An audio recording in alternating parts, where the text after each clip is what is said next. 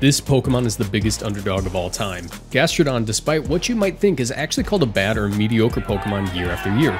VGC players will constantly discuss whether or not Gastrodon is good in any given year of VGC. Being a water ground type has the advantage of being a phenomenal defensive typing, but has the downside of that massive 4 times grass weakness. Gastrodon is able to make full use of this typing with its high HP and pretty good special defense stat. By investing heavily into its HP and defense, it can even eat some pretty impressive physical attacks. Along with that, it has a massive support move pool with access to Icy Wind, Yawn, Helping Hand, and tons of other great tools. But what really holds it together is its ability Storm Drain, which not only grants it a water immunity, but will redirect the water attacks into itself, protecting its partners and getting plus one special attack for each absorbed move.